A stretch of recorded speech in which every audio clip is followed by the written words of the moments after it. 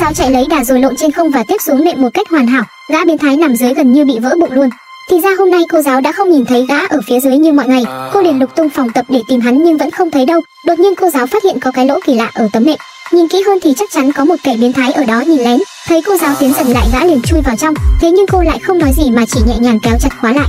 Gã biến thái nằm bên trong thì vô cùng hoang mang. Nhưng ngay khi nghe cô giáo gọi tất cả học sinh lại và yêu cầu họ thực hiện nhảy ngựa lên tấm nệm thì hắn như chết lặng đi thế nhưng gã ta vẫn không thèm để tâm mà tiếp tục nhìn lén thêm. Rất nhanh các nữ sinh đã bắt đầu và Lisa nhảy đầu tiên. Tuy nhiên cú nhảy của cô có vẻ chưa hoàn hảo lắm, nhưng nó cũng đủ khiến gã biến thái cảm nhận được sự đau đớn khủng khiếp. Thấy chưa ổn lắm, cô giáo liền đứng ra làm mẫu. Cô chạy rất nhanh rồi lộn một vòng và tiếp đất hoàn hảo.